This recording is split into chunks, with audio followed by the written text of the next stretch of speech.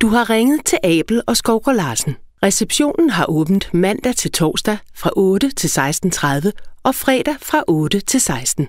Du kan se personlige kontaktoplysninger på vores hjemmeside abel.dk. Tak for opringningen.